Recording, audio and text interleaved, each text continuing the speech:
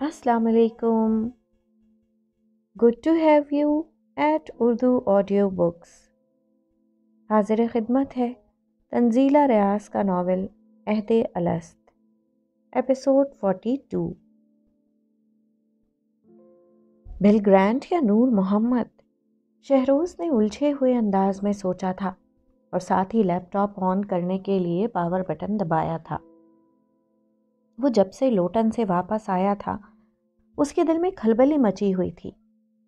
Bill grand बमुकाबला नूर मोहम्मद और फिर नूर मोहम्मद बमुकाबला नूर मोहम्मद।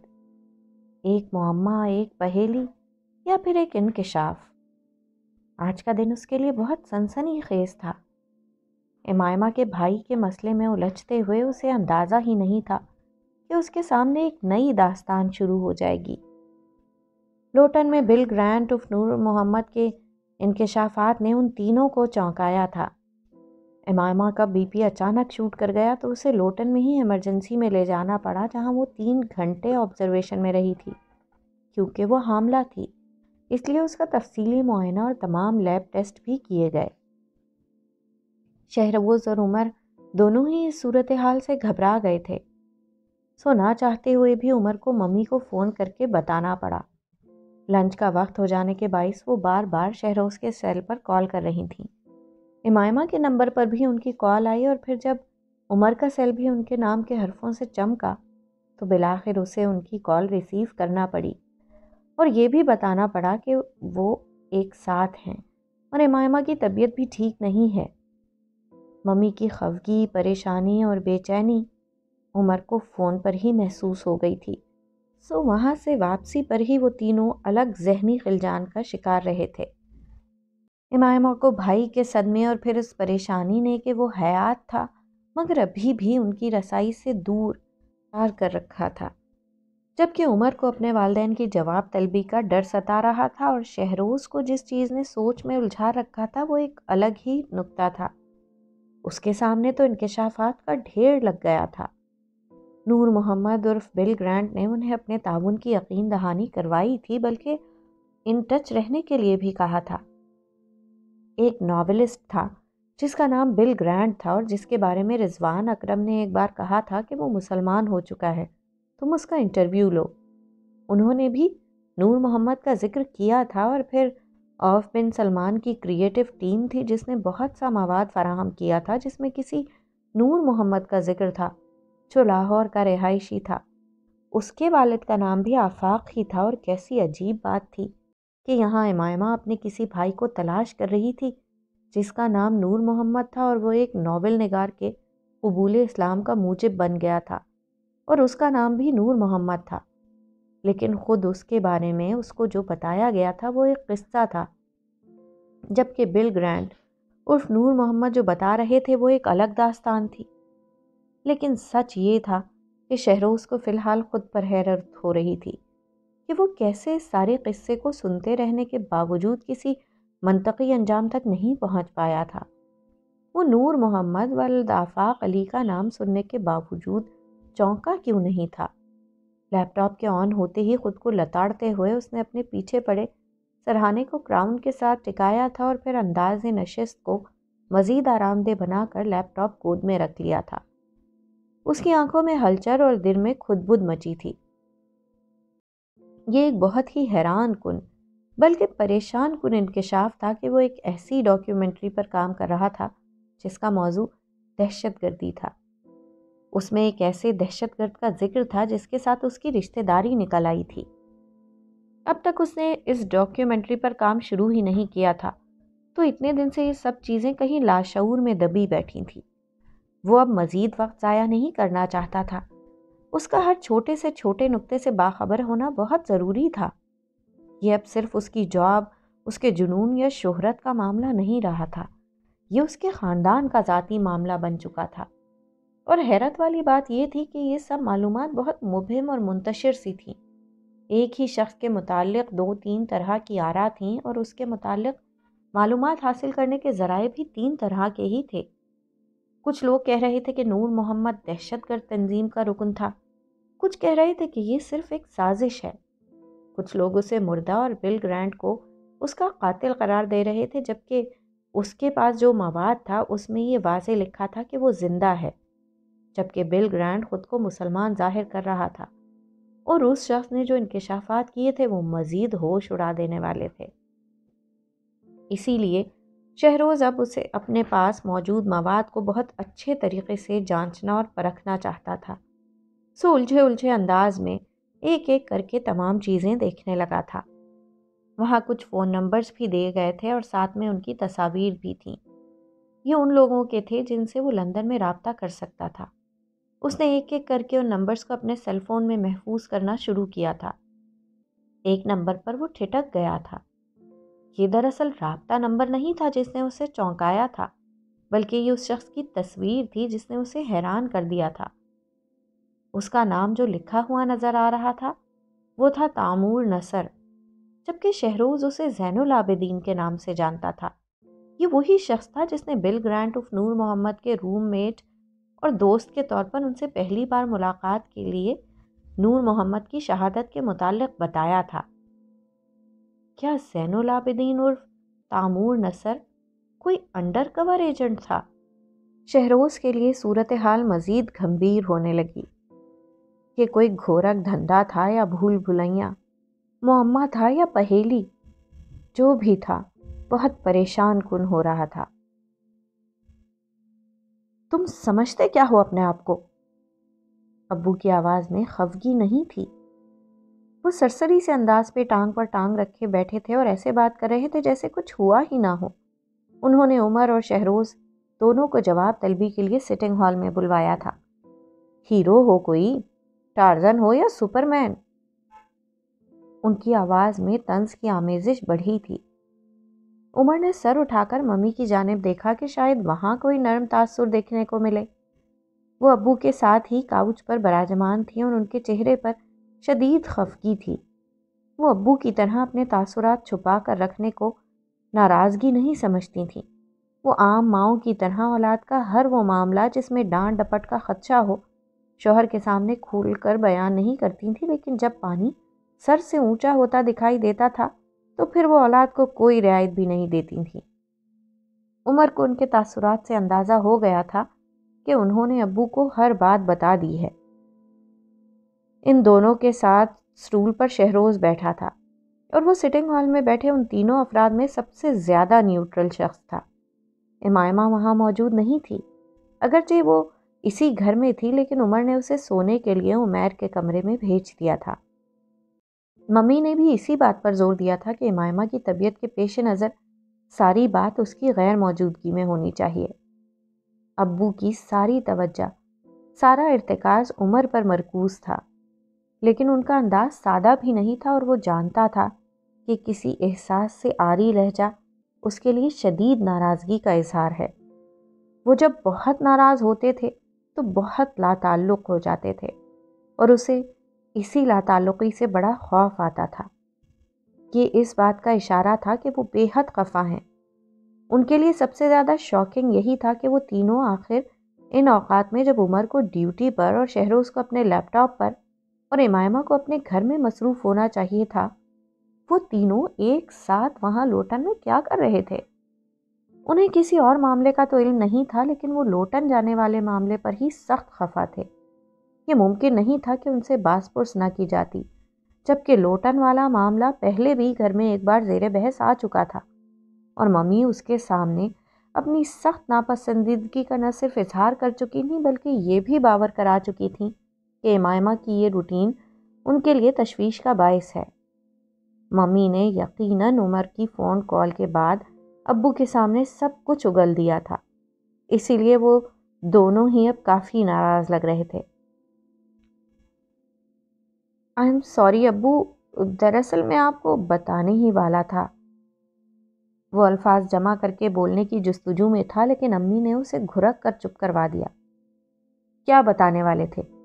यही कि तुम लोग घूमने फिरने इतनी दूर गए थे। पहले इमामा को रूट सेंस बेहतर बनाना था, अब शहरोज को ये शौक चराया होगा। तुम लोग अपने बड़ों को बेवकूफ़ समझते हो ना? एडवेंचर का शौक पूरा करने की भी एक हद होती है।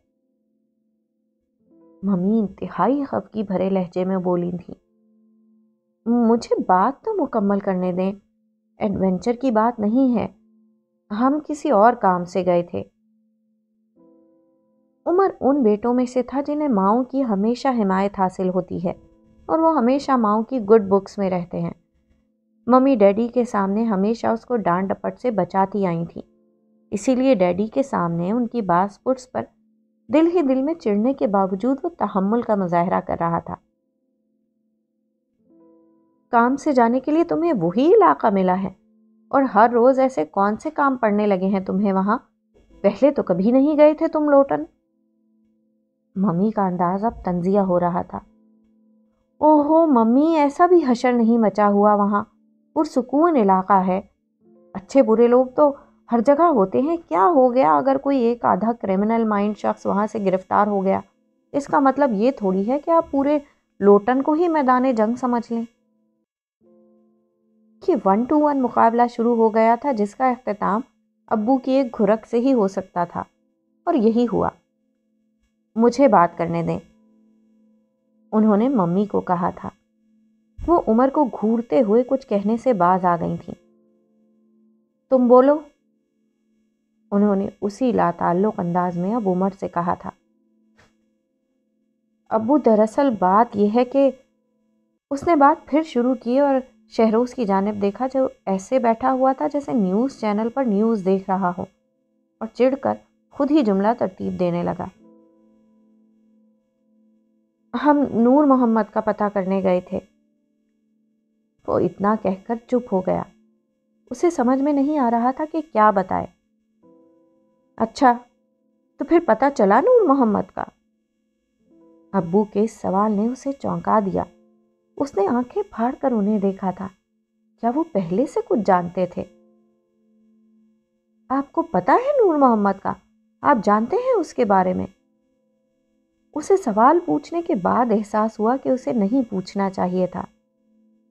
मुझे कैसे पता हो सकता है उमर? और मुझे कुछ पता करने की ज़रूरत भी क्या है? तुम लोग अब खुद मुख्तार हो चुके हो, अपने मामला सुलझाने में माशाल्लाह काफ़ी माहिर हो चुके हो। वालदेन को कुछ बताने की और पूछने की ज़रूरत ही क्या है? मैं समझ सकता हूँ तुम अगर अपनी माँ के टोकने के बावजूद वहाँ जाते रहे हो तो मसला कुछ बड़ा ही होगा।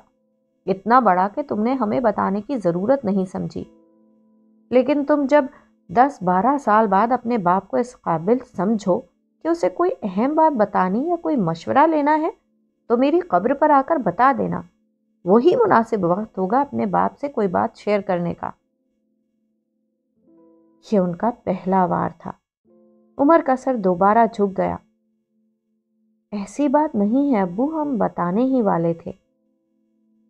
उमर ने इतना ही कहा था कि अब्बू ने उसे घूर कर देखा। हाँ दस साल बाद बता ही देते तुम। बहुत शुक्रिया। कि वही मखसूस तंजिया अंदाज था जिसकी उम्र को आदत थी।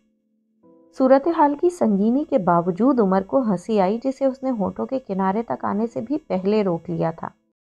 एक बड़ा मरहला अभी बाकी था। अबू नाराज़ मत हूँ, प्लीज़। मैं बता तो रहा हूँ। उसने मिन्नत भरे लहजे में कहा था। मम्मी की नाराज़गी उसे कभी नहीं डराती थी, लेकिन अब्बू की नाराज़गी से उसे वाकई डर लगता था। बहुत एहसान मंद हूँ मैं, बेटा जी।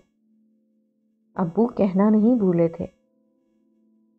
नूर मोहम्मद इमायमा का भाई है, चाचू। हम लोटन में उससे मिलने गए थे। शहरोज ने खामोशी के तवील वक्फे को बिलाखिर तोड़ा था। किसका भाई? इमायमा का? मम्मी ने चौंक कर उसे देखा। जी, मम्मी, इमामा का। नूर मोहम्मद। अब्बू ने उसकी जानब देखते हुए दोहराया। वो अंदाज़ा लगाने की कोशिश कर रहे थे कि मामला क्या हो सकता है। उनके घर में इमामा और उमर के निकाह के बाद उसके भाई का ज़िक्र हुआ था और वो भी इस तनाजुर में जो बातें उन्हें अपने भाई और भतीजों से पता चली थी। उन्हें बहू के भाई का किसी असाइलम में होना उनका दर्द सर नहीं था। ये इमामा और उसके वालदेन का ज़ाती मामला है और हम में से कोई भी इस बारे में बात नहीं करेगा। ये ताकीद उन्होंने बहुत पहले अपने घर में कर दी थी। वो अगरचे अपने घर में भूली बिसरी कहानियाँ सुनाना पसंद करते थे और ना ही उन्हें भूली बिसरी कहानियाँ सुनना पसंद था। लेकिन अब मामला कुछ और नज़र आता था। सो उन्हें बेटे की बात सुनने में दिलचस्पी लेनी पड़ रही थी। दूसरी जानब उमर ने दिल ही दिल में हिम्मत मुश्तमा की थी। उनको बताने के लिए उसके पास काफ़ी लंबा चौड़ा किस्सा था। मैंने कहा था ना आपसे, ये रोज़ रोज़ लोटन जाना कोई और ही किस्सा है। अब पता चल गया ना, मेरी गट फीलिंग कभी गलत नहीं होती। हमारे होनहार सपूत किसी मुहिम जुई में हिस्सा लें और मुझे खबर ना हो, ये तो हो ही नहीं सकता। कि मम्मी का मखसूस जुमला था जो उम्र की हर नई मगर औंधी शरारत पर मम्मी कहना नहीं भूलती थी। उमर के खामोश होते ही वो अब्बू को जताना नहीं भूली थी कि मामला अगरचे शरारत से कुछ आगे की चीज़ था और इसमें उमर का कोई कसूर भी नहीं था। लेकिन इमायमा के नाते अब ये उनके घर का ही मसला था। अब्बू के चेहरे पर इतनी संजीदगी थी, जबकि दूसरी जानब शहरोज अभी खोया खोया सा था। वहाँ मौजूद तीनों मर्दों को अंदाज़ा था कि ये किस कदर गंभीर सूरत हाल हो सकती है। तुम, तुम्हारा मतलब है, इमामा का भाई दहशत गर्द है और गौंता नामो बे में है। सारी बात सुनकर उन्होंने तशवीश भरे अंदाज में सवाल किया था। जी चाचू, वो शख्स तो यही कह रहा है। शहरोज अब उनका चेहरा बगौर देख रहा था। आइंदा का सब लाहे अमल उन पर मुनहसर था। दहशतगर्द नहीं है, अबू। उसका इमेज ऐसा बना दिया गया है कि जैसे वो दहशतगर्द है। उमर ने शहरोज का चेहरा देखते हुए तसी की थी। शहरोज का रवैया उसे समझ में नहीं आ रहा था। वो हर नुक्ते में कोई ना कोई एतराज़ का पहलू ढूंढ रहा था। एक ही बात है, उमर। दहशतगर्द होना या दहशतगर्द का इमेज होना, दुनिया दोनों चीज़ों को एक ही तनाजुर में देखती है। शहरोज ने दो टोक लहजे में कहा था एक ही बात कैसे हो सकती है? दुनिया की कोई ताकत मुलजिम को गुनाह साबित होने से पहले मुजरिम नहीं कहती। तुम तो मेरे साथ सारा किस्सा सुनकर आए हो। उन्होंने एक एक बात तुम्हें बताई है। फिर भी तुम ऐसे कह रहे हो? उमर चिढ़कर बोला था। उसे अब्बू के सामने शहरोज की हिमायत की ज़रूरत थी जबकि वो पार्टी बदलकर अब्बू के साथ उसके मुखालफत में पहली सफ में जा खड़ा हुआ था। तुम कुछ भी कहो, उमर, मुझे तो यकीन नहीं आया इस सारी बात पर। अजीब मन घड़त सी कहानी है। वो शख्स झूठ भी तो बोल रहा हो सकता है। उन्होंने इतना ही कहा था कि शहरोज ने उनकी बात काट कर उन्हीं की बात की, तायद की। मुझे तो खुद भी यकीन नहीं आया उस शख्स की किसी बात पर। अजीब फिल्मी सी कहानी लग रही है। वो अभी भी अपने मौक़ पर कायम था। और अब तो उसका अंदाज मज़ीद मुदलल हो गया था क्योंकि अब उसने वो डॉक्यूमेंट्री और उससे मुतल मवाद अच्छी तरह जाँच लिया था। अबू मुझे लगता है वो शख्स झूठ नहीं बोल रहा। कुछ हकीकत तो है सारे मामले में। उमर अभी भी अपने मौक़ पर कायम था। अरे यार, इसे समझाओ कुछ। ऐसा होता है भला कहीं। तुम लोग इतने सालों से गुमशदा एक शख्स को ढूँढने निकलो और वो तुम्हें नहीं मिले। लेकिन उसके ऐसे खैर ख्वाह मिल जाएँ जो बताएँ कि वो हयात नहीं है। फिर तुम मिन्नत समाजत करो तो वो कह दें कि हाँ वो ज़िंदा है, मगर वो उनके साथ नहीं है। वो उसे जानते थे, मगर अब वो कहाँ है, इस बारे में उन्हें नहीं पता। और फिर वो खदशा ज़ाहिर करें कि वो एक बदनाम ज़माना जगह पर हो सकता है। इस बारे में भी वो सौ फ़ीसद पुरयकीन नहीं है कि वो ग्वानता नामो बे में है या नहीं। मैं तो सारी बात सुनकर एक ही नतीजे पर पहुँचा हूँ कि वो शख्स वाकई अच्छा नावलिस्ट है। उसे कहानी लिखनी आती है। अब्बू ने कहा, शहरोज ने इतमान से टांग पर टांग रख ली थी। चाचू उमर की हिमायत नहीं कर रहे थे। ये एक खुश आइंद बात थी। उमर ने उसके चेहरे की जानब देखा था। अब्बू आप समझ नहीं रहे। वो बिला जवाज या बिना सबूत बात नहीं कर रहे। वो कह रहे थे कि उनके पास ठोस शवाहिद मौजूद हैं। वो साबित कर सकते हैं कि नूर मोहम्मद यानी इमामा का भाई कहाँ मौजूद है। और वो ये भी साबित कर सकते हैं कि वो मासूम और बेगुनाह है। उनके पास इस सारी साजिश को झूठ का पुलंदा साबित करने के लिए बहुत सी शहादतें हैं। अबू इतनी मुस्तनद बातें कोई खाम खां क्यों करेगा? उमर ने भी अपना मौक़ बयान करना ज़रूरी समझा था। अबू अब उसकी जानब देख रहे थे। ठोस शवाहिद हैं तो अब तक क्यों खामोश था वो? उसे कुछ तो करना चाहिए था ना? वो अगर वाकई सच्चा है तो फिर चुप क्यों रहा इतनी देर? अबू ने इतना ही कहा था कि उमर ने उनकी बात काट दी। अबू वो कह रहे थे कि वो मुंतज़र थे कि उमर का कोई करीबी अज़ीज़ उनका साथ दे तो वो ये सारा मामला पब्लिक करें, वरना वो किस बुनियाद पर ये सवाल करेंगे? उनका कोई ब्लड रिलेशन तो नहीं है नूर मोहम्मद के साथ। कानूनी कार्रवाई करने के लिए भी किसी एक ऐसे शख्स का होना बहुत ज़रूरी है, जिसका नूर मोहम्मद के साथ ब्लड रिलेशन हो। वो पुरजोश अंदाज में बोला था।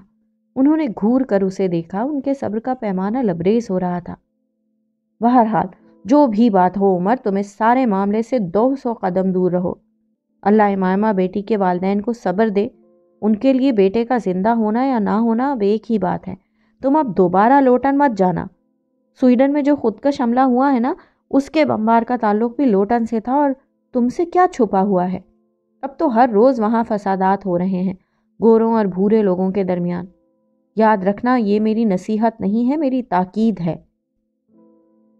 उनका लहजा तो टोक था। वो चुप हुए तो मम्मी भी बोल उठी। उमर, तुम्हारा ब्लड रिलेशन भी नहीं है। और तुम्हारे अबू कह रहे हैं ना कि तुम इस मामले से दूर रहो तो बेहतर है कि तुम दूर रहो। पहले ही मुसलमानों के लिए मुश्किल बढ़ गई हैं। तुम्हारे सामने ही है सब कुछ। उस दिन मार्केट में क्या हुआ था? ज़रा सी बात के लिए मजमा इकट्ठा हो गया था। मुसलमानों, बिलखसूस पाकिस्तानियों के लिए ज़िंदगी रोज़ बरोज़ मुश्किल होती जा रही है। स्कार्फ से सर ढांपना ही मुसीबत बनता जा रहा है यहाँ। दाढ़ी वाला मुसलमान और ढके सर वाली औरत। मशकूक समझे जाते हैं अब। और फिर पाकिस्तानी छींक भी मारे तो ये गोरे स्वाइन फ्लू फैलाने का इल्ज़ाम लगाने लगते हैं। दहशत गर्दी का लफ्ज़ भी मुँह से निकालोगे तो ये मिनटों में तुम्हें दहशत गर्द साबित कर देंगे। तुम लोगों को बेशक डर ना लगता हो, लेकिन मैं उस दिन के बाद से बहुत खौफजदा हो गई हूँ। तुम बस इस मामले में नहीं पड़ोगे उमर चंद लम्हे दोनों की जानब देखता रहा। नूर मोहम्मद दहशतगर्द नहीं था, अब्बू। जब वो शख्स था ही मासूम तो हम क्यों खौफजदा हैं? किस लिए साथ ना दें उसका? ये मुसलमानों के ख़िलाफ़ एक साजिश है। मुसलमान आबादी को प्रेशराइज करने की कोशिश है ये। और मम्मी, आप खुद ही तो कहा करती हैं कि बुराई को फैलते देखो तो उसे हर मुमकिन तरीके से रोकने की कोशिश करो। मैं तो वही करूँगा जो आपने मुझे सिखाया है। मैं उस शख्स का साथ ज़रूर दूँगा। वो चिड़चिड़ा हो चुका था। लेकिन बात मुकम्मल कर ही रहा था तहमुल के साथ। वो अकेला हो गया था। वहाँ कोई भी उसके मौक़ की हिमायत में नहीं बोल रहा था। अब्बू ने नापसंदीदगी से उसे देखा। वो चाहते थे उमर भी यही कहे कि वो शख्स झूठ बोल रहा है। फिर वो उसे सौ फ़ीसद झूठा करार देकर इस सारे मामले से मुकम्मल तौर पर कता ताल्लुक़ हो जाएँ। वो सब भूल जाएँ कि उनके किसी दूर पार के रिश्तेदार का किसी दहशत गर्दी नेटवर्क के साथ नाम भी लिया जा रहा है, लेकिन वो उमर को एकदम ये सब नहीं कह सकते थे। वो जब छोटा था, तब भी ऐसे मामला में तब तक सुकून से नहीं बैठता था, जब तक कि उनसे बहस करके उन्हें जिच नहीं कर देता था। औलाद जवान हो जाए तो बाप को टोकने के अंदाज बदलने पड़ते हैं, और वो तो अब शादीशुदा था, बाप बनने वाला था। तुम क्या समझते हो? सिर्फ़ तुम्हारे इस तरह कह देने से सब मसले सुलझ जाएँगे। फ़र्ज़ कर लो ये साजिश भी है। तब भी वो अनासिर, जो इसको घड़ने में इतनी मेहनत और वक्त बर्बाद कर चुके हैं, वो आराम से बैठे होंगे। तुम कहोगे नूर मोहम्मद मासूम है और वो तुम्हें ये कहने देंगे। अहमकों की जन्नत से बाहर आओ बरखुरदार।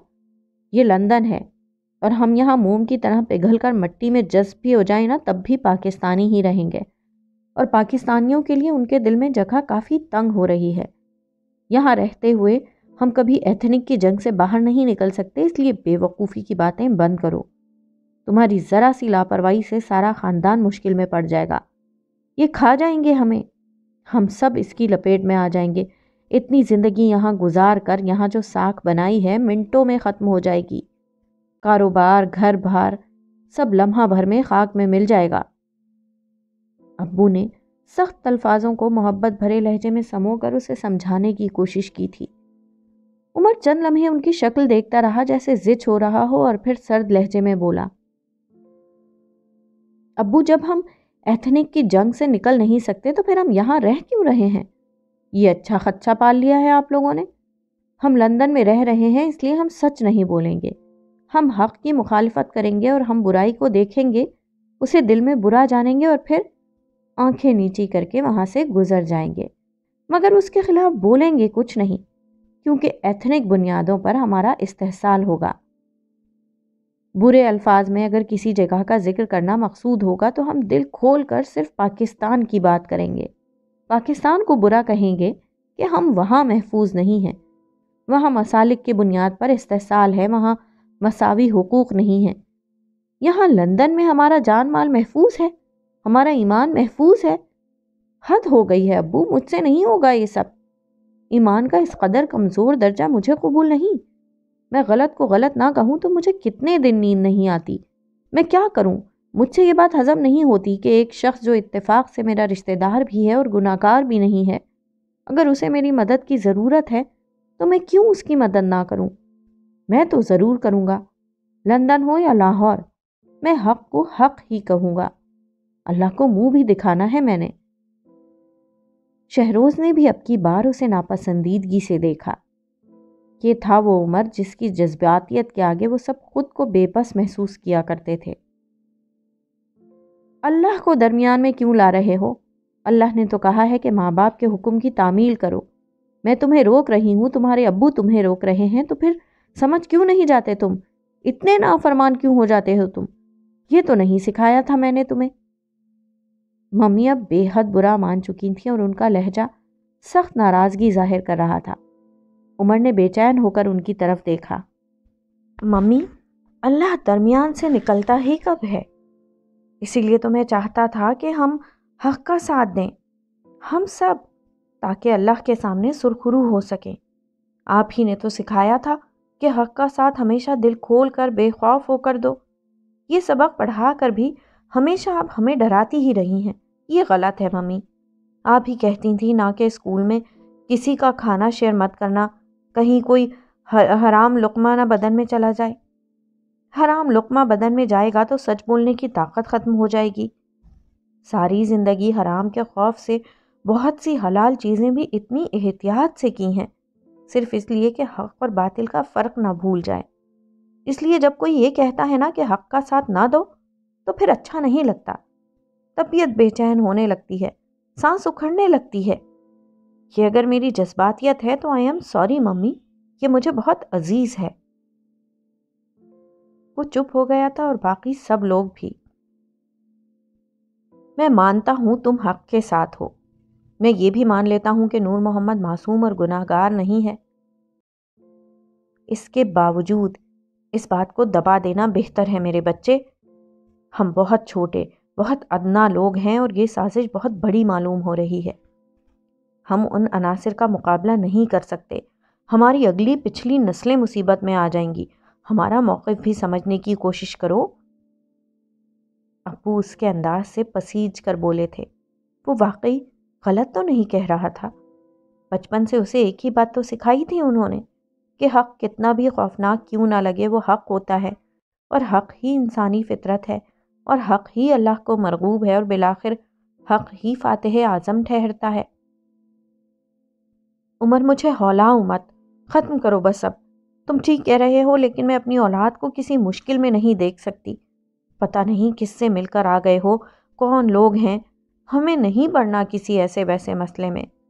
हम में से कोई तुम्हें इस हिमाकत की इजाज़त नहीं दे सकता। भूल जाओ नूर मोहम्मद को। मम्मी ने आजिज होकर कहा था। मैं नहीं भूल सकता, मम्मी। मुझसे भूला नहीं जाएगा।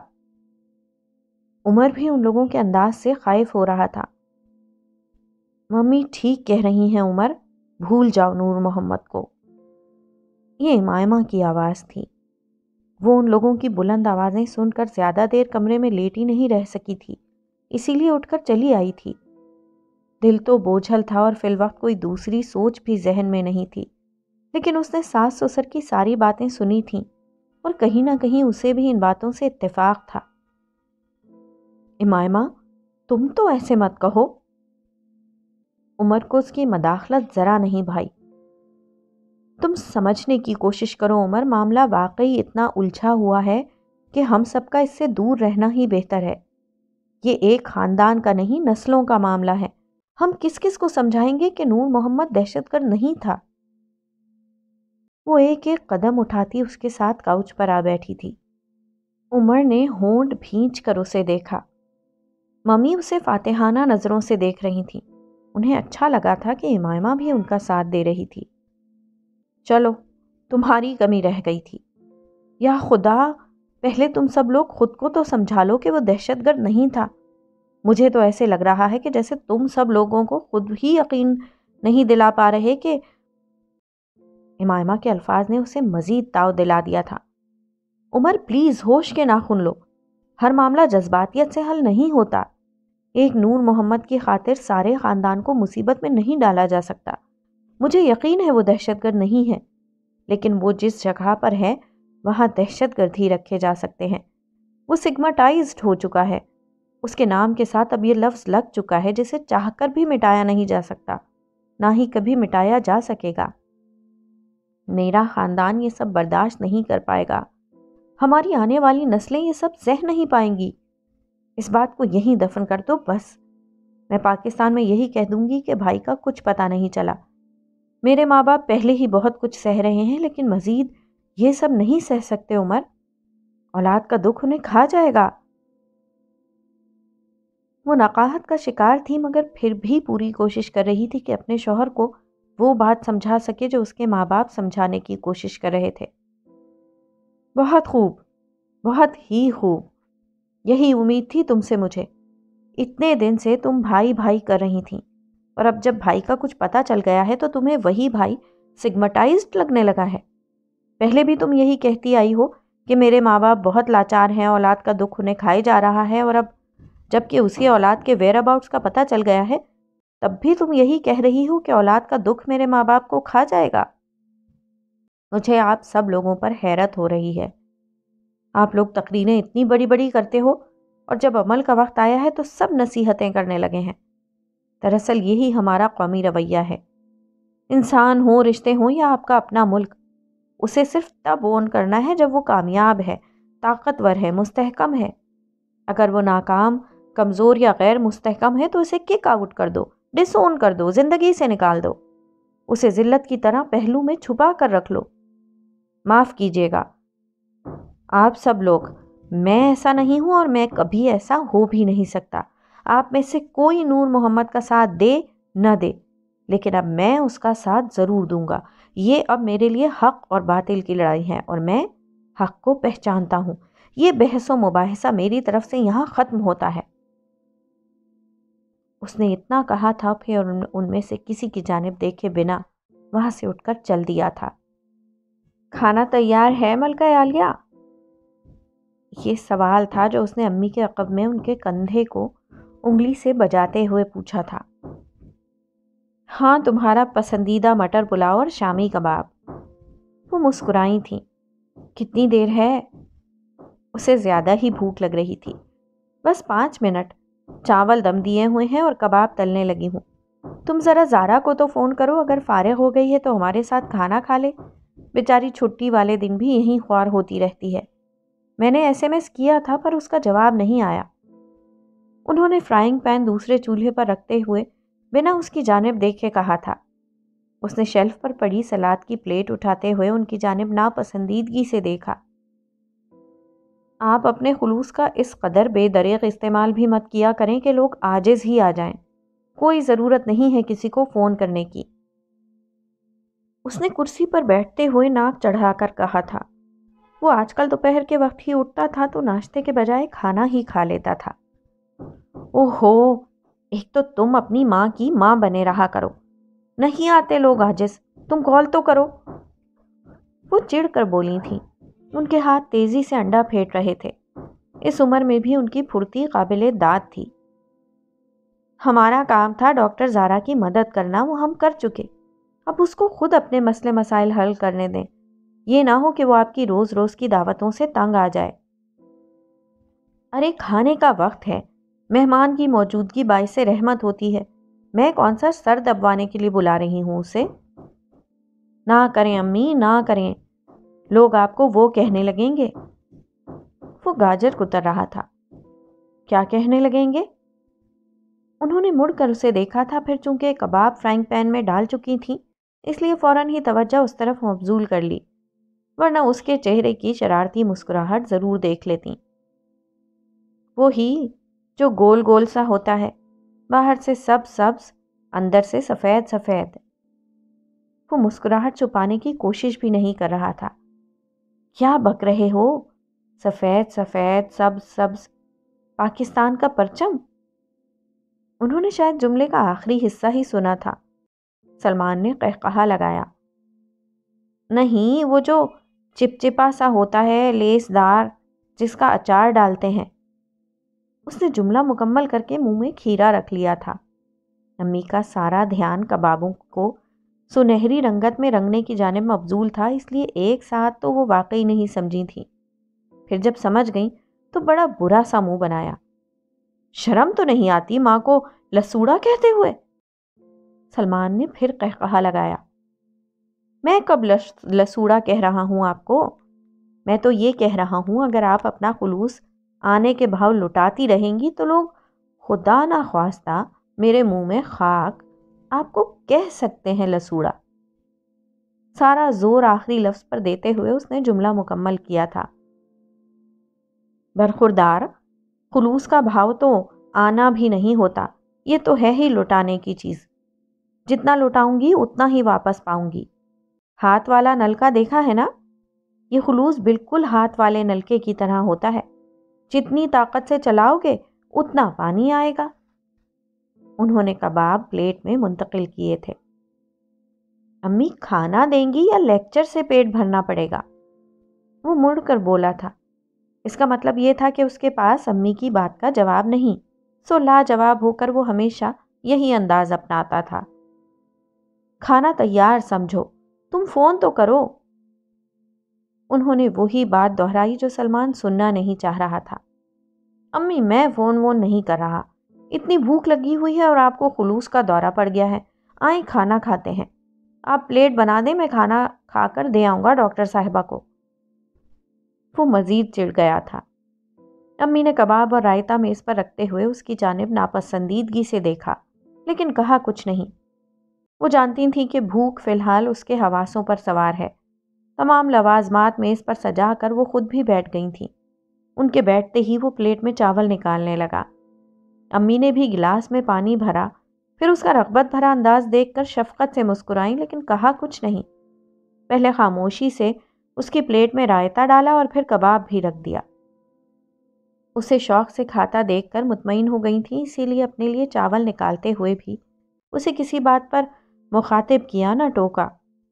कुछ देर खामोशी से दोनों माँ बेटा खाने में मगन रहे। फिर जब उसने पहला कबाब ख़त्म करके दूसरा कबाब भी खुद उठाकर प्लेट में रख लिया तो अम्मी ने खंकार कर गला साफ़ किया और फिर ठिठक कर रुकी और किचन की खिड़की से बाहर देखा। उन्हें ऐसा महसूस हुआ था जैसे बाहर वाला गेट किसी ने खोला हो। पड़ोस वालों की ब्याहता बेटी आई हुई थी और उसके बच्चे अक्सर खेलने के लिए दोपहर को आ जाया करते थे। लेकिन जब खिड़की से कोई नज़र नहीं आया तो फिर सर झटक कर उसकी जानब देखा। तुम ज़ारा से कब बात करोगे? कौन सी बात? उसने ना समझी के आलम में उनका चेहरा देखा था। उसे आजकल अपने प्रोजेक्ट के अलावा किसी चीज़ में दिलचस्पी महसूस नहीं होती थी। आमना की बात, अम्मी जता कर बोली। आमना की बात ज़ारा से क्यों करूँगा, अम्मी? उसे अम्मी की बातों से ज़्यादा फिल वक्त चावलों में दिलचस्पी महसूस हो रही थी। ड्रामे करना बंद करो। मैं शादी की बात कर रही हूँ। अम्मी ने उसकी प्लेट में बिला ज़रूरत मज़ीद चावल निकाले कि कहीं वो उठकर चला ना जाए। मैं ज़ारा की शादी की बात आमना से करूँ या आमना की शादी की बात ज़ारा से करूँ? किसकी शादी हो रही है? ज़ारा की शादी हो रही है। उसने बताया आपको? वो आखिरी बात पर चौंका था। अम्मी ने अपने तई उसकी चोरी पकड़ी और फिर मुस्कुराई। तुम सबको छोड़ो, सिर्फ़ अपनी शादी की बात करो। माशाल्लाह। यानी अब आपकी बोरिंग बातें भी बर्दाश्त करना पड़ेंगी। अच्छा खाना खिलाने की यही सज़ा देती हैं आप हमेशा। वो गहरी सांस भरकर बोला था, मैं संजीदा हूँ। अम्मी ने उसे घूरा था, मैं सलमान हैदर हूँ। संजीदा बेगम आपसे मिलकर खुशी हुई, खाना खाइए ना। वो उनकी संजीदा बात को वाकई गैर संजीदा अंदाज में उड़ा रहा था। अम्मी चंद सातों तक तो खामोशी से उसकी बात को समझने की कोशिश करती रहीं और फिर समझ गईं तो उसके कंधे पर चपत रसीद करके बोली, तुम मान क्यों नहीं जाते कि तुम जारा को पसंद करते हो? मैंने कब इनकार किया है कि मैं उसे पसंद करता हूँ? अच्छी लड़की है, तभी तो हमारे शनासाओं में शामिल है। अच्छी है, तभी तो आपसे मिलवाया है। अच्छी है, तभी तो आपको खाने के वक्त पर याद आ जाती है। वो मटर का एक एक दाना मुँह में रखते हुए वजाहत कर रहा था। अम्मी को ऐसा महसूस हुआ जैसे वो हमेशा की तरह उनको टाल रहा है। ठीक है, मैं खुद ही बात कर लूँगी ज़ारा से, उन्होंने गोया धमकी दी थी। कि हमारे घर की हर बात में ज़ारा का ज़िक्र क्यों आ जाता है? उसने चम्मच प्लेट में रख दिया। प्लेट में अभी भी चावल मौजूद थे। ये समाज समाजी असूल है बेटा। पहले लड़की का ज़िक्र घर में आता है, फिर पूरी की पूरी लड़की घर में आ जाती है। सलमान ने उनकी बात पर अब बगौर उनकी जानब देखा और फिर कुछ देर देखता ही रहा। अम्मी, आप बहुत जहीनो फतीन हैं, लेकिन रमज़ान का चाँद रजब में देखने की कोशिश ना करें। मैं आपको आखिरी बार कह रहा हूँ, आप गलत सोच रही हैं। वो मसनू अंदाज में मुस्कुराते हुए कुर्सी से उठ गया था। उसका अंदाज दो टोक था। सो अम्मी चंद लम्हे के लिए चुप ही हो गई और कुछ लम्हे तजब्जुब के आलम में उसे सिंह के पास खड़ा हाथ धोता देखती रहीं। वो जो कह रहा था उन्हें समझ में तो आ गया था, लेकिन वो उस पर यकीन करने को तैयार नहीं थी। बेटे की ये हरकतें उन्हें ताव दिलाती थीं। वो कुछ लम्हे उसकी पुश्त की जानब देखती रहीं और फिर कहने के लिए कुछ समझ में नहीं आया तो चिढ़कर अपनी प्लेट की तरफ़ मुतवजा हुई थी। मैं अगर गलत सोच रही हूँ ना तो तुम गलत कर रहे हो, टीपू। एक माँ के दिल के साथ खेल रहे हो, अल्लाह पूछेगा तुम्हें। मधुबाला ना बने, खाना खाएँ। फिर चाय पिलवाता हूँ आपको अपने हाथ की। वो मुस्कुराता हुआ सॉस पैन उठाने लगा था। ठीक है, अब तुमसे इस मुतालिक कोई बात नहीं होगी। मैं खुद ही ज़ारा से बात कर लूँगी और उसे बता दूँगी कि वो ही आमना है। उनका अंदाज दो टोक था। सलमान कुछ नहीं बोला था और उन दोनों को पता नहीं चला था कि कोई गेट तक आकर दोबारा वापस चला गया था।